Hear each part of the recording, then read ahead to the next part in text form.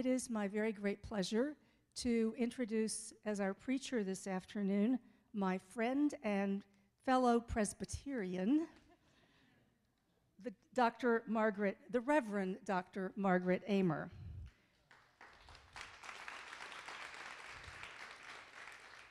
I'm not done yet. she is professor of New Testament at Austin Presbyterian Theological Seminary, recently promoted to full professor. Dr. Aymer studied at Harvard University and Union Theological Seminary in the city of New York. Her research has focused on the, gospel, on the Epistle of James, the Gospel of James, okay, the Epistle of James, on which she has published two monographs. She is also an editor of the Fortress Commentary on the Bible. Following the teaching of James, Dr. Aymer takes her faith well beyond her desk. She is a true doctor of the church, in demand as a teacher and preacher. She is also a musician, a daughter, a wife, and I've met him, a justifiably adoring mother of Gabriel, age four. It is a real pleasure to welcome Dr. Aymer to this pulpit. Many thanks, Reverend Dr. Gaventa.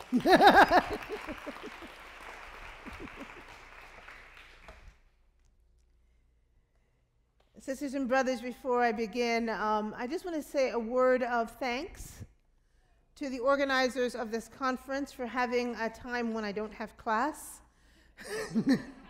um, I know it's there.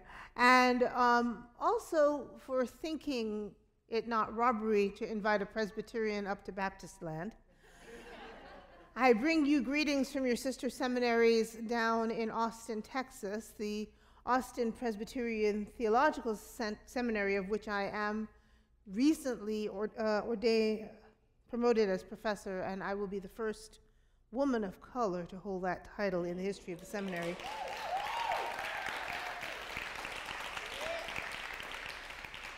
And without being too presumptuous, I also bring you greetings from our sister seminary next door to us and our rivals in football, the Seminary of the Southwest.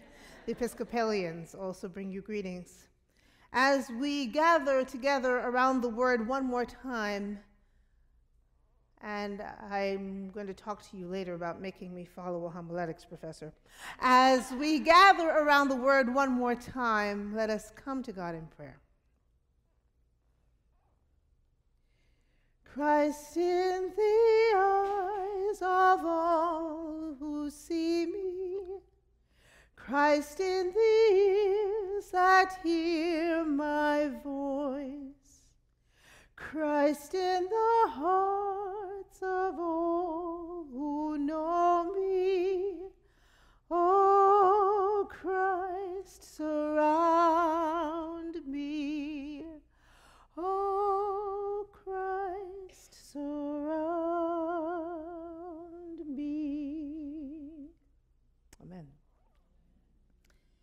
passage is from the Acts of the Apostles, the 12th chapter. This is my rough translation. And when Herod was about to lead him, that is Peter, out, that is, out of the prison, in that night, while Peter was sleeping between two soldiers, having been bound with two chains, guards were keeping watch before the door of the prison, and look, a messenger of God appeared, and light illuminated the room, and striking Peter's side, he raised him and said, Get up in haste. And the chains fell off his hands. And the messenger said to him, Gird yourself and fasten your sandals. He did thus. And he said to him, Wrap around your outer garment and follow me. And going out, he followed, and he did not know that this was truly happening because of the angel but he supposed that he was having a vision. And after they went through the first guard and the second, they went to the iron gate that leads into the city, which opened to them automatically. And going out, they went down one narrow street, and immediately the messenger went from him. And Peter, coming to himself, said, Now I truly know that the Lord sent forth his messenger and rescued me from the hand of Herod and from all of the expectation of the people of Judea.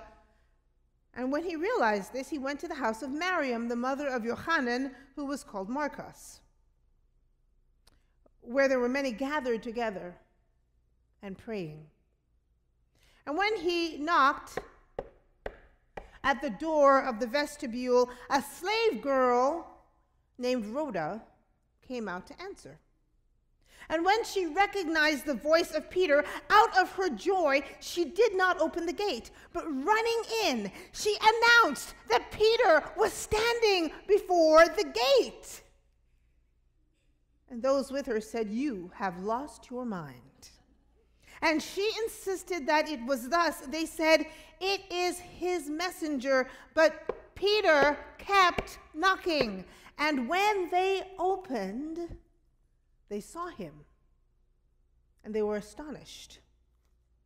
And motioning to them with his hand to be silent, he related how the Lord let him out of the prison, and he said, Tell Jacobus and his brother these things. And after going out, he left for another place. Holy wisdom, holy word.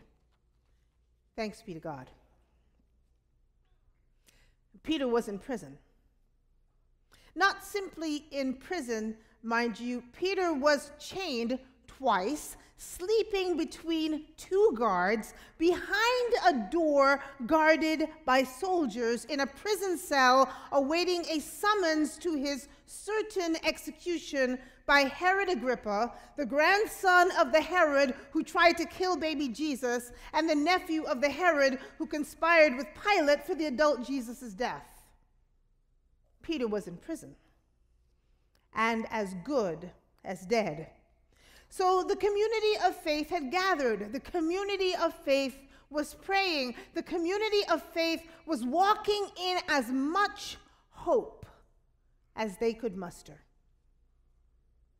But the truth was this Stephen, the great preacher and the deacon of the church, was dead. James, the son of Zebedee, the son of thunder, was dead. And Peter was as good as dead. Peter was in prison. Everybody knows this. Everyone but Rhoda. Rhoda has heard Peter's knock. Rhoda has heard Peter's voice. Rhoda knows what no one else knows Peter is free.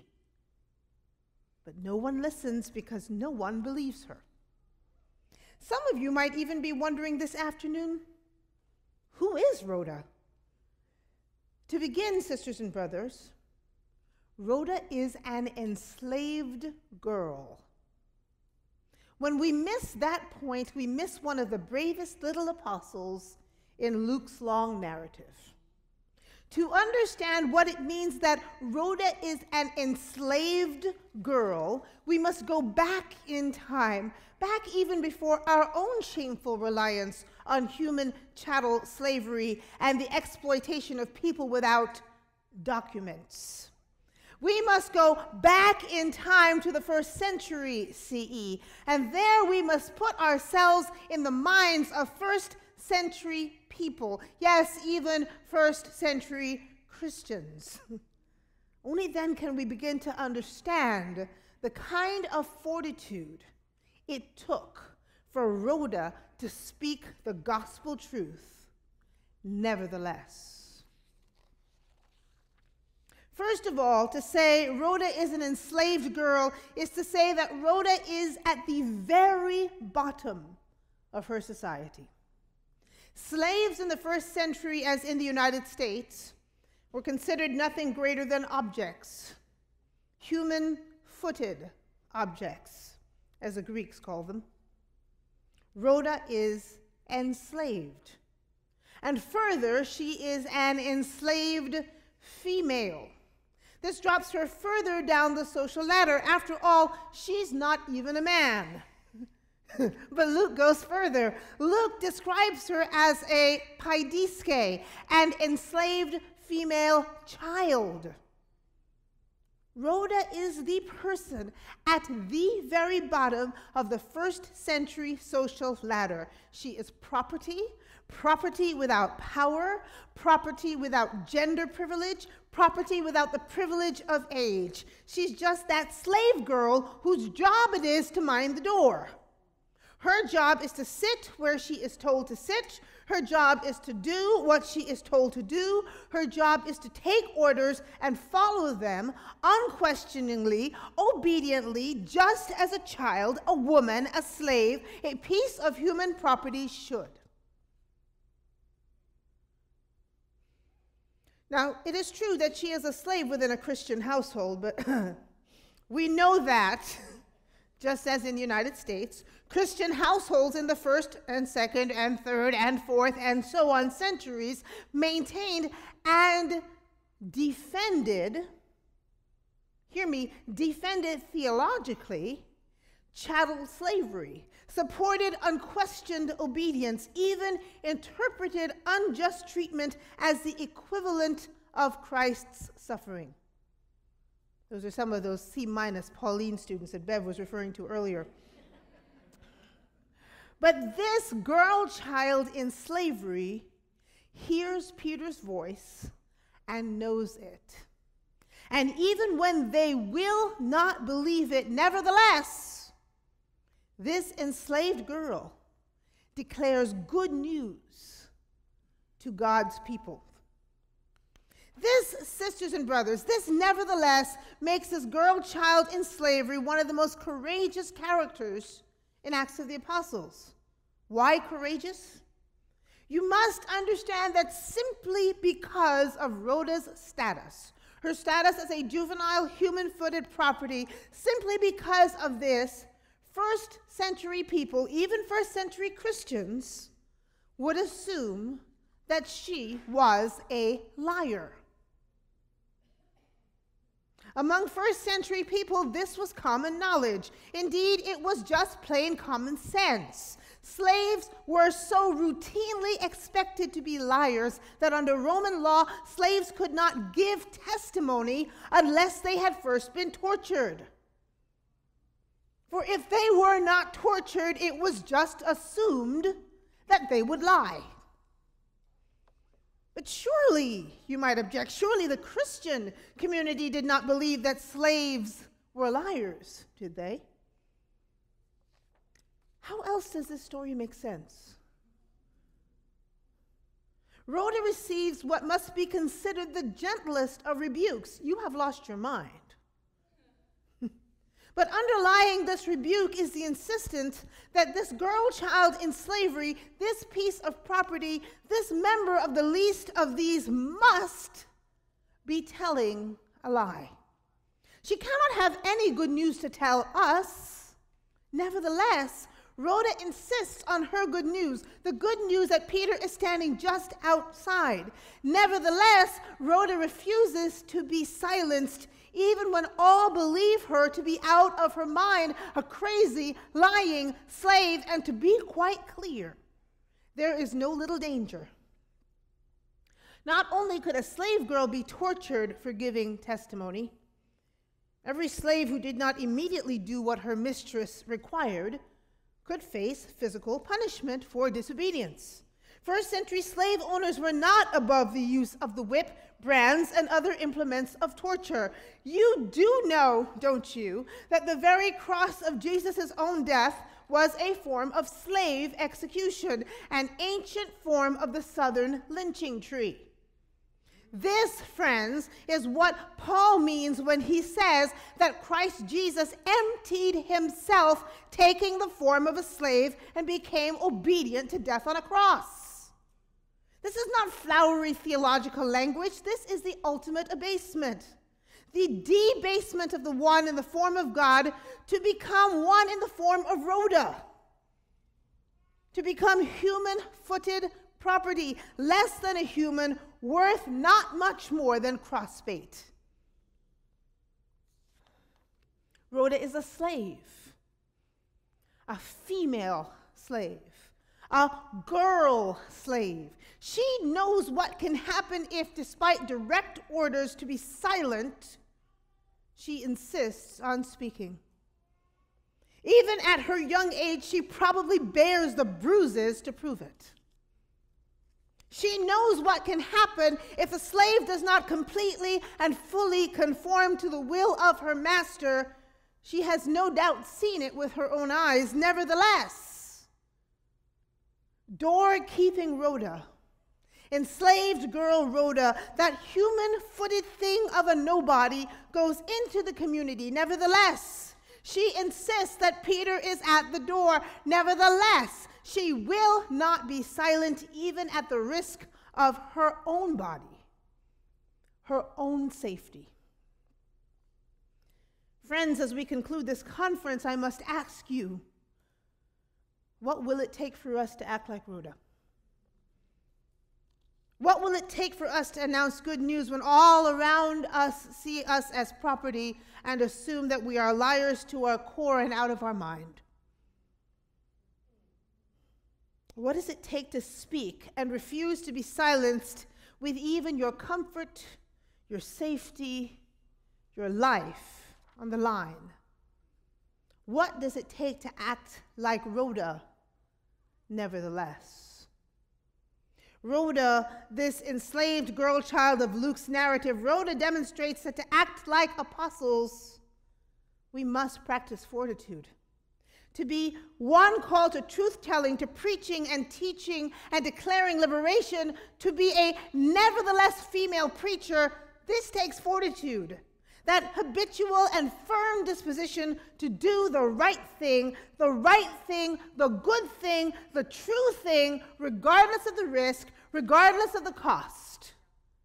Now, Peter, of course, embodies fortitude. In the prison cell of Herod's making, it's easy to see that, but do we notice the way in which Rhoda embodies fortitude? She who is imprisoned by chattel slavery practiced by Christians on Christians within the Christian assembly. For my friends, when the rest of the community insists you are nothing but a human footed thing a girl child a piece of property, someone whose presence and person are of no value to the rest of the community except as another machine to keep the grinding wheels of slavocracy turning, it takes fortitude to speak out. Nevertheless, to insist that one has a voice that must be heard, and when the rest of the community insists that you are ontologically a liar, because of your place in the social stratum, because of your class, because you are female, because no one like you could possibly tell the truth or be the bearer of divine revelation, it takes fortitude to insist that you are not crazy, nevertheless. And when the consequences, and when the consequences of bearing witness to truth may be pain, torture, imprisonment, and death, it takes fortitude to bear witness, nevertheless, to bear witness to the truth of God's liberating, empire defying, enslaved girl empowering, and breaking into this God beloved world.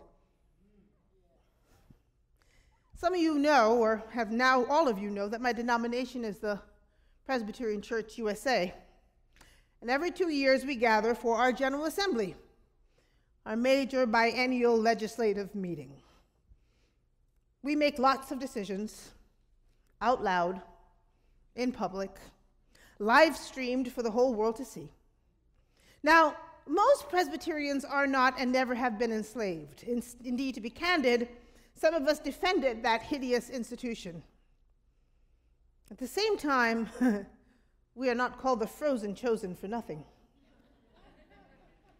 Many of us do not like conflict.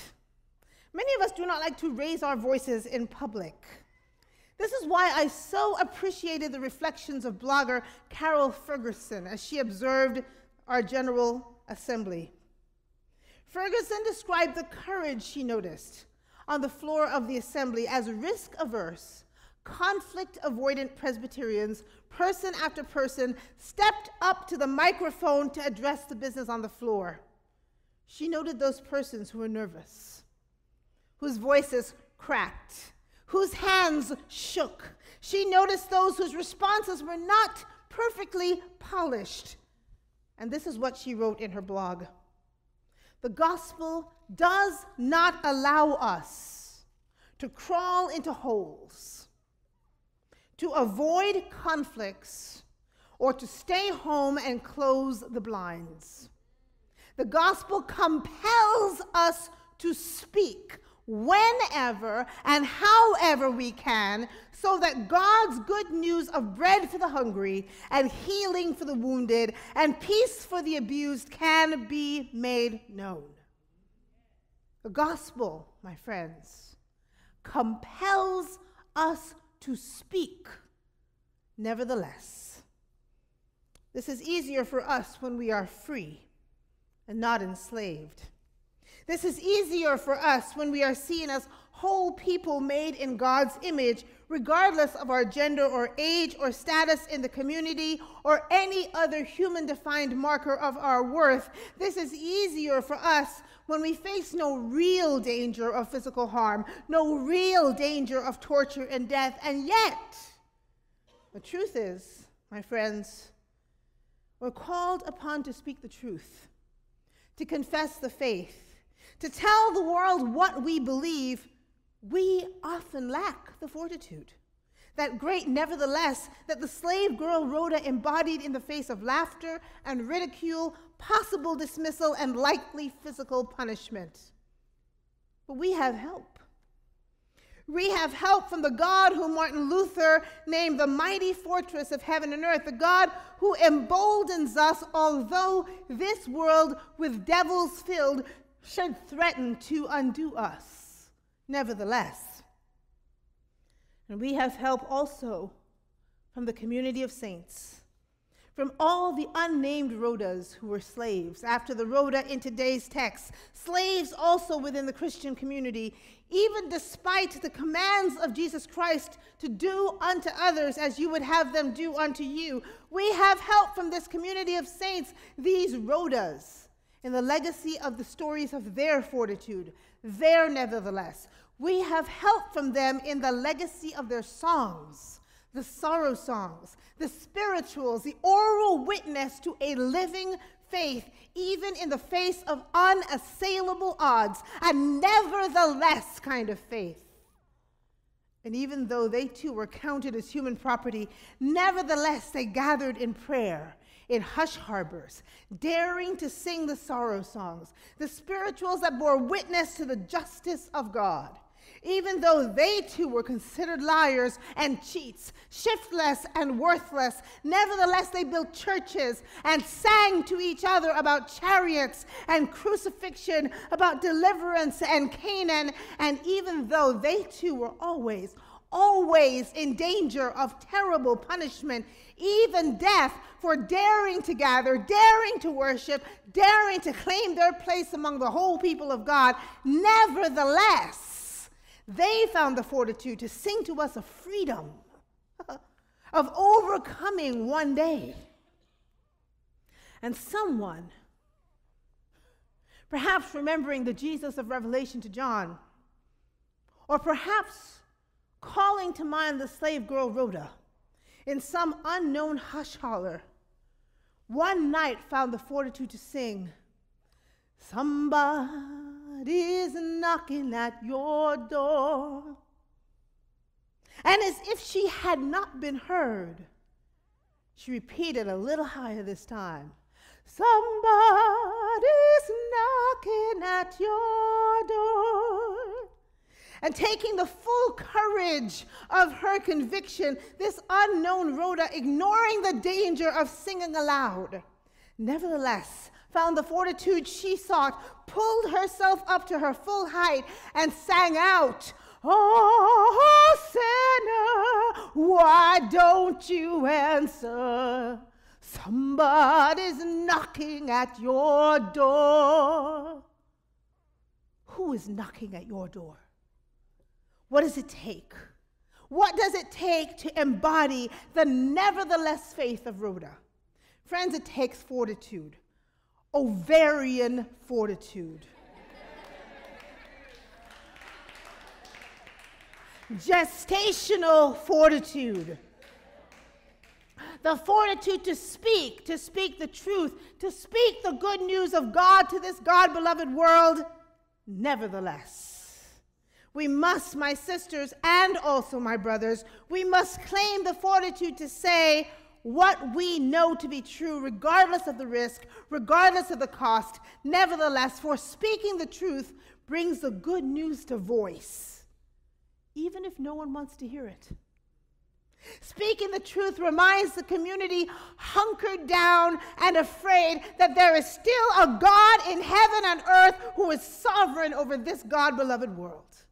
Speaking the truth, even if you think you have no more power and status than an enslaved first century girl child named Rhoda, speaking that truth sets people free. Tonight, as you leave this rich feast of a conference, be guided by an enslaved girl child. Indeed, may she haunt you. And when she does, stand with Rhoda, with fortitude on the convictions that God has planted in your soul and revealed to your heart. Nevertheless, stand with fortitude, preaching the promises of Christ that have saved and continue to challenge us. Nevertheless, stand with fortitude, telling the truth of a God that sets Peter and all women and men free, regardless of the risk, regardless of the cost. Nevertheless,